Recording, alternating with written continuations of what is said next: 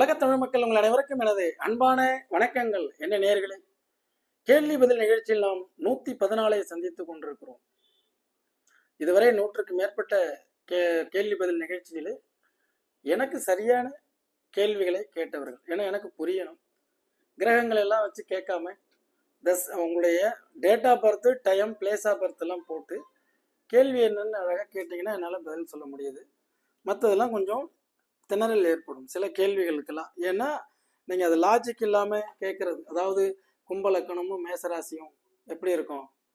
அடுத்த வருஷத்துக்கு பலன் சொல்லுங்கள் ஏன் எதிர்காலம் எப்படி இருக்கும்? அப்படிங்கும்போது ஒன்றும் மைண்டில் வராது. பர்டிகுலராக கேளுங்க. ரைட் அடுத்தது இவர் கேட்டிருக்காரு பார்த்தீங்களா? வணக்கம் ஐயா. ஆண் துலாம் சுவாதி பெண் சிம்மம் மகம். திருமணம் மேட்சிங் எப்படி இருக்கும்? இதான் பொதுவாக நட்சத்திர பொருத்தம் என்பது ஜாதகம் இல்லாத காலத்திலே முன்பொரு காலத்தில் பெயர் வைத்து பெயருக்கு ஒரு ஆரம்ப எழுத்தை கொடுத்து அந்த ஆரம்ப எழுத்து உண்மையான அளவில் வைப்ரேஷன் இருக்கிறதா இல்லையா என்று பார்க்குமேயானால் காலப்போக்கில் அதெல்லாம் இன்று வடமொழிகள் உள்ளாரே வந்த பிறகு அதெல்லாம் மாற்றமடைந்து இன்னைக்கெல்லாம் அதுக்கு வேலை இல்லாமல் போய்விட்டது. சரி அதே மாதிரி தான் அந்த நாம நட்சத்திரத்தை வைத்துக்கொண்டு ஒரு ஆரம்ப எழுத்திலே நட்சத்திர பொருத்த பட்டியலை உருவாக்கி இங்கே இந்த மாதிரி மக நட்சத்திரம் சுவாதி நட்சத்திரம் கல்யாணம் பண்ணலாமாங்கிற கேள்வி எல்லாம் வருது. இதெல்லாம் ஓரமாக எடுத்து வைத்துவிட்டு ஜனனகால ஜாதகத்தை எடுத்து உங்களுக்கு என்ன தசாபுத்தி நடக்கிறது இருவருடைய லக்கணம் என்ன இருவருடைய ராசிகள் என்ன இருவருடைய ஏழாம் பாவாதிபதி குடும்பாதிபதி நாலாம் பாவாதிபதி பனிரெண்டாம் பாவாதிபதி நிலைப்பாடுகள்லாம் எப்படி இருக்கு அதை பார்த்து திருமணம் செய்யுங்க. சரியா? அடுத்தது யூசர் நாட் நாட் சிக்ஸ். ஐயா ஆண் துலாம் ராசி சுவாதி நட்சத்திரம். பெண் ரிஷப ராசி ரோகிணி நட்சத்திரம். திருமணம் பண்ணலாமா? பொருத்தம் இருக்கா? இது உங்களுக்கு அதே பதில். திருமண பொருத்தம். எதை வச்சு பார்க்கறது? நட்சத்திர பொருத்தம் அவசியமா? தேவையில்லை. உடனே ரச்சு தட்டும்பாங்க. சுவாதி நட்சத்திரத்துக்கு அது கழுத்து ரச்சு ரோகிணி நட்சத்திரத்துக்கும் கழுத்து ரஜ்ஜு. கல்யாணம் பண்ணா பெண்ணுக்கு ஆகாது. அதுவும் பெரிய வார்த்தையில போட்டிருப்பாங்க பஞ்சாங்கத்துல.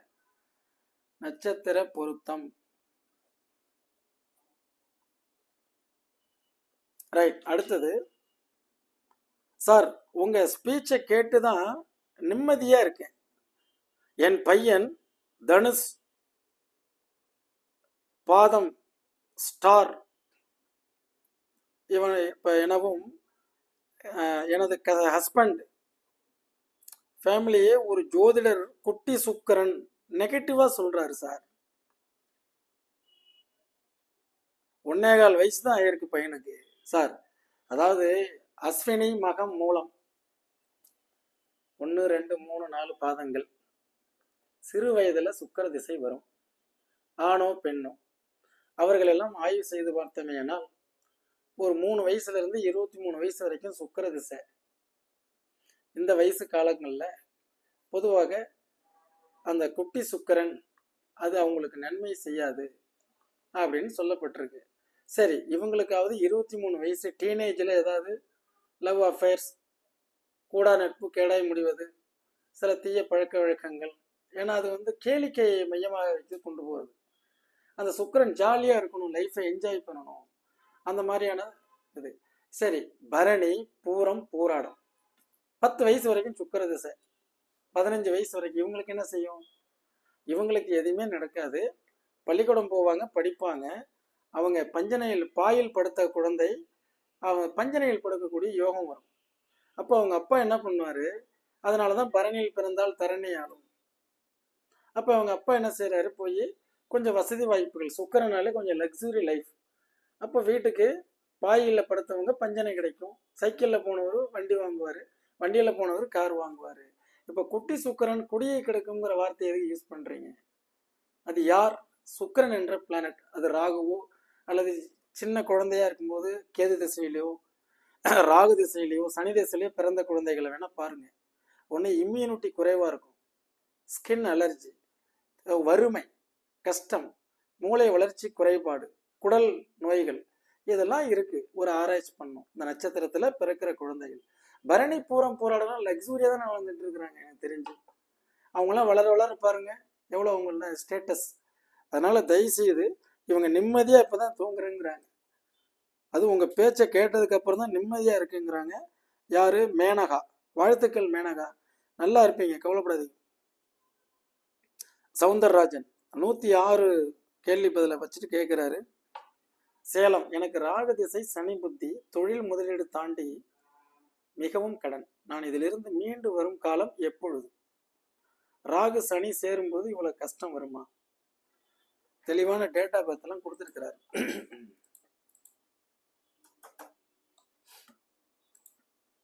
எப்பொழுதுமே அவர் கேட்கறது வந்துங்க கடன்னா ஜாதக ரீதியாக ஆறாம் பாவகம். ராகு திசை சனி புத்தி. அந்த ஆறாம் பாவக தொடர்பில் அந்த ரெண்டில் ஏதாவது இருக்கும். பத்தொம்போது ஏழு. இவரும் அதே மாதிரி லக்னாதிபதி ஆறாம் பாவக தொடர்பில் இருந்தாலும் கடனில் இன்ட்ரெஸ்ட் ஏற்படுத்திடும். பன்னெண்டு அஞ்சம் பதினேழு முப்பது. சேலம் பதினாலு டிகிரி பிரச்சனை இல்லை. தனுசு லக்கணம். மேச ராசி. பத்துக்குடையவன் ஆறுக்குடையவனுடைய தொடர்பு. அதாங்க ஆறாம் பாவாதிபதி பத்தாம் பாவாதிபதி தொடர்பு ஏற்பட்டால் ரெண்டுங்க சேர்ந்து இருக்கும்பொழுது ஜாதகர் கண்டிப்பாக பிஸ்னஸில் கடன் ஏற்படும். இப்போ ராகு திசையில் சனி புத்தி. ராகுவேல் சனி. ராகு மேல் ராகு இப்போ வந்திருக்கு. ஒரு சொல்யூஷன்ஸ் கிடைக்கும். அதே மாதிரி முட்டுக்கட்டைகள் விலகும். கடன் அப்படிங்கிறது வந்து உங்களுக்கு படிப்படியாக விலகிறதுக்கு வாய்ப்புகள் குறைவதற்கு வாய்ப்புகள் இருக்கு. பிஸ்னஸ் நீங்கள் வந்து பத்தில் கேதுவை பற்றி நான் போட்டிருக்கேன் ஒரு வீடியோ போய் பாருங்கள் உங்களுக்கு தொழில் வகையில் உங்களுடைய சிஸ்டத்தை நீங்கள் மாற்றணும் பத்தில் கேது என்ன செய்யும்னு ஒரு வீடியோ இன்னைக்கு தான் போட்டிருந்தேன். அதாவது ஆறாம் தேதி ஆறு ஒன்று அந்த வீடியோவை போய் பாருங்கள் ஒன்றுக்கு மேற்பட்ட பல தொழில் பண்ணையும் முடியாது. நீங்கள் உங்கள் ஜாதகத்தை எடுத்து முதல்ல இந்த குருச்சந்திரன் சேர்க்கை லக்னாதிபதி குரு ஐந்தாம் இடத்தில் இதெல்லாம் அப்புறம் ஏழுக்குடையவன் முதல்ல கர்மா என்ன சொல்லுது? பத்தில் கேது இருந்தாலே பலப்பற்ற தொழில். ஒரு தொழிலையும் முழுமையாக செய்ய விடாது. அதனால நீங்க உங்களுடைய ஜாதகத்தை பாருங்க. கஷ்டம் சனி ராகு சனி சேரும் போதுன்னா ராகு திசையில சனி புத்தி டுவெண்ட்டி டுவெண்ட்டி ஃபைவ் வரைக்கும் இருக்கு. ரெண்டுமே நெகட்டிவான பிளானட் தான். அதுக்கப்புறம் புதன்ல தான் உங்களுடைய பிரச்சனை கிளியர் ஆகும். எப்போன்னா இருபத்தி நாலு நாலு ரெண்டாயிரத்தி இருபத்தஞ்சுக்கு அப்புறம். கடன் தீருமா?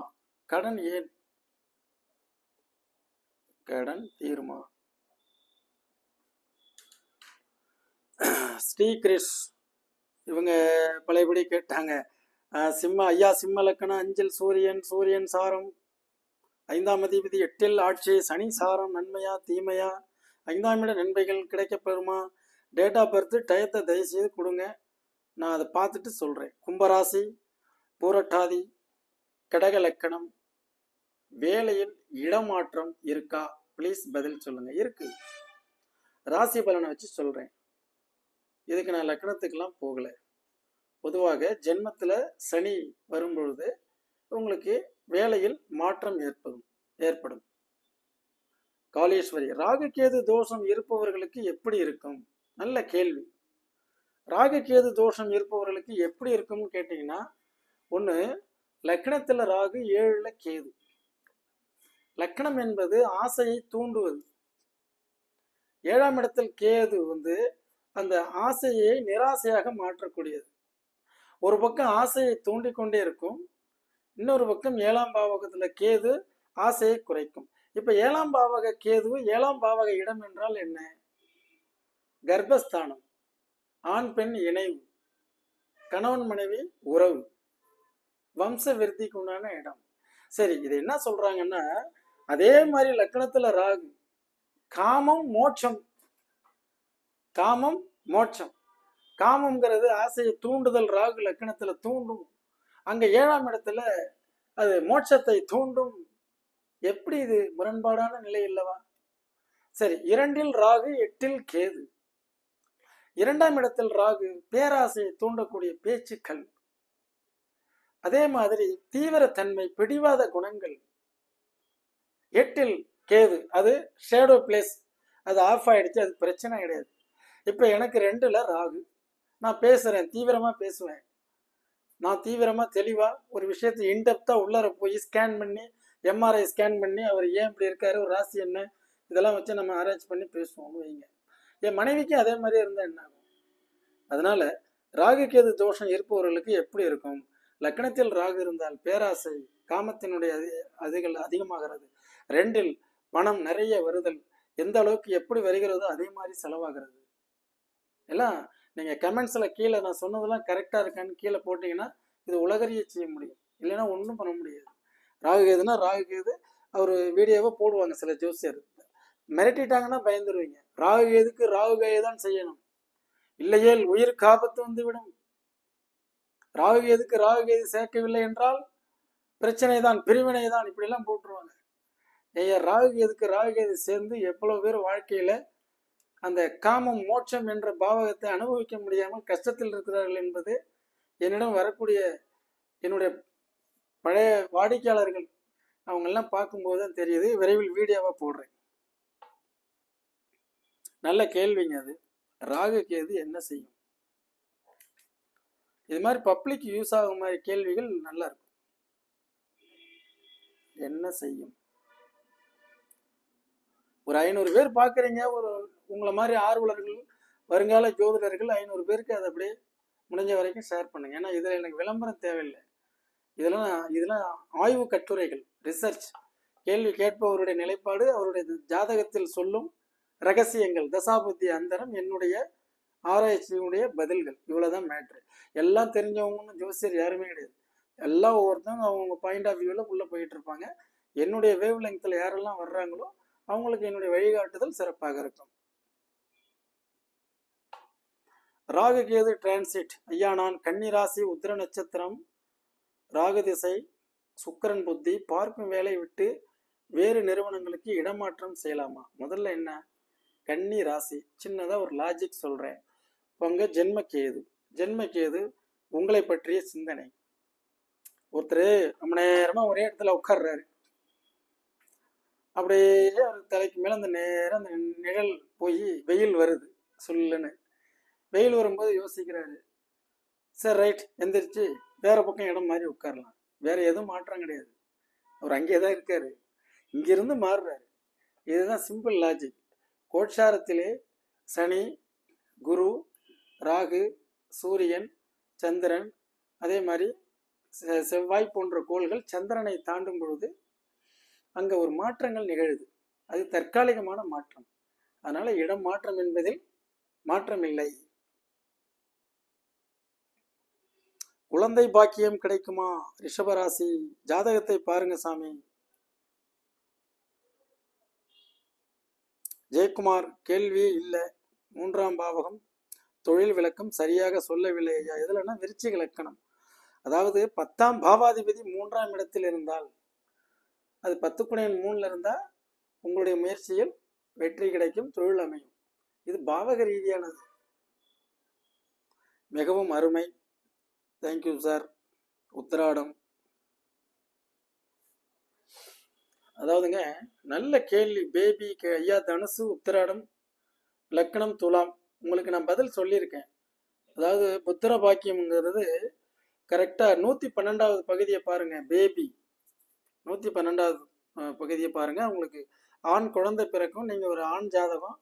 அதே நேரத்தில் வீரிய ஸ்தானாதிபதி உங்களுக்கு கொஞ்சம் மைனஸாக இருக்கிறதுனால நீங்கள் செக் பண்ணுங்கன்னு சொல்லியிருக்கேன். இதெல்லாம் உண்மையாக நடந்ததா? கரெக்டு தானான்னு நீங்கள் அந்த கமெண்ட் பாக்ஸில் போட்டிங்கன்னா தான் உலகம் எரிய செய்ய முடியும். சரிங்களா?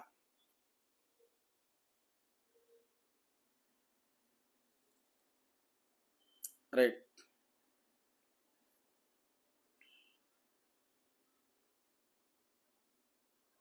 அதாவது வணக்கம் ஐயா பிறந்த நேரம் காலை நாலு பதினாறு திருச்செந்தூர். எல்லாம் டேட்டா பர்த் எல்லாமே கொடுத்துருக்கிறீங்க. எனக்கு இப்பொழுது திருமணம் செய்ய பெண் பார்த்து கொண்டிருக்கிறார்கள். நீங்கள் எனக்கு தாமத திருமணம் என்று சொன்னீர்கள். இப்போது திருமணம் செய்யலாமா? இல்லையா? ஏதாவது வழி இருக்கா? எதிர்மறையாக தோன்றுகிறது. குழப்பத்தில் இருக்கிறேன். திருமணம் செய்யலாமா? நல்ல கேள்வி சாமி. திருமணம் எப்போது? தாமத திருமணம் என்ற வார்த்தை ஏன் வந்தது?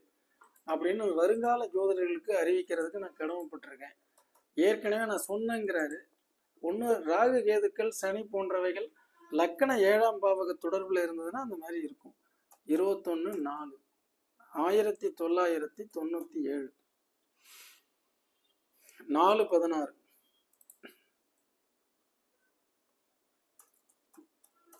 திருச்செந்தூர்.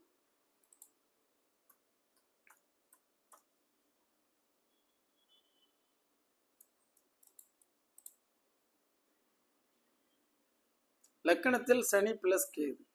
ஏழில் ராகு சந்திரன். இதுதான் தாமத திருமணம். லேட் மேரேஜ்னு சொல்றது இதுதான். இப்போ வயசு இருபத்தாறு வயசு முடிஞ்சு இருபத்தி ஏழாவது வயசுல எட்டு மாசம் பதினஞ்சு நாள். உங்களுடைய ஜாதகத்துல ஏன் தாமதமாகுது? லக்கணத்துல சனி இருந்து ஏழாம் இடத்தை பார்க்கும்.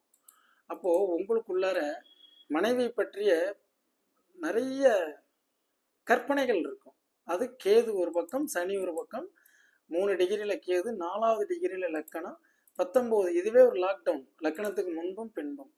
இதை நான் நிறைய உங்களுக்கு சொன்னேன்னா அந்த லைவ் ப்ரோக்ராமில் உங்களுக்கு புரியாது. நீங்கள் சுக்கரனுடைய புத்தி இந்த வருஷம் டோட்டலாக எட்டு பதினொன்று வரைக்கும் இருக்குது அதுக்கப்புறம் ஏழுக்கு பன்னெண்டு கூடியவனுடைய புத்தி சூரியன். சூரியன் ரெண்டில் இருக்குது அதனால் டுவெண்ட்டி டுவெண்ட்டி ஃபைவ்ல கல்யாணம் நடக்கும். சரிங்களா? அதிகமாக குழப்பிக்காதீங்க. ரெண்டாயிரத்தி இருபத்தஞ்சில் திருமணம் நடக்கும்.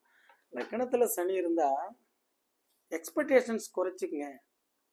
எதிர்பார்ப்புகள் வேண்டாம். ஒரு நல்ல பெண் அமையும். ஏழுக்குடையவன் உங்களுக்கு வந்து புதன் படித்த பெண். இன்னைக்கு எல்லாமே படித்த பொண்ணு தான். படிக்காத பொண்ணு கிடைக்காது. ஆக ஏழ்மை அல்லது ஏதாவது சில குறைகள் அவங்க குடும்பத்தில் சொல்லலாம். ஜெயக்குமார் கன்னி லக்கணம் சுவாதி நட்சத்திரம் துலாம் ராசி. சிறிய வயதிலிருந்து கஷ்டப்பட்டு இருக்கிறேன். இந்த ராசியில் பிறக்கக்கூடாது இருந்தேன். ஆனால் என் மகள் கண்ணிலக்கணம் துலாம் சுவாதி நட்சத்திரத்தில் பிறந்தால் மிகவும் கஷ்டமாக உள்ளது சார். ஒரு தாய் வயத்தில் பிறந்த ஏழு குழந்தைகள். அதில் நான் ஒருவன் மட்டுமே சோதிடன். மற்றொருவன் எழுத்தன்.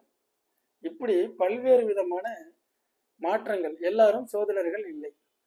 இப்போ இதற்கு என்ன காரணம்? ஒவ்வொருத்தவனும் ஒவ்வொரு விதமான ஐந்து விரலும் ஒன்று போல் இருக்காது. ஆக கர்மா அப்படிங்கிறது வேறு. ஒரு ஆன்மாவின் தொடர்பு. இதுக்கு நிறைய நம்ம வந்து தத்துவார்த்தமாக ஃபிலாசபிலாம் பேச வேண்டியிருக்கோம். ஒட்டி பிறந்த ரெட்டை குழந்தையாக இருந்தாலும் ரெண்டு பேருடைய சுக துக்கங்கள் அவர்கள் வாழ்க்கையில் பெறக்கூடிய அனுபவங்கள் வெவ்வேறாக இருக்கிறது இப்படி. நீங்கள் உங்கள் நீங்கள் வாங்கிய வரம் நீங்கள் பிறக்கும் பொழுது உங்களுடைய ஆன்மா உங்களுடைய விருப்பு வெறுப்புகள் அது வேறு. கண் இலக்கணம் துலாம் ராசி சுவாதி நட்சத்திரம் கஷ்டப்பட்டேன் என்றால் அது உங்களுடைய கர்மா.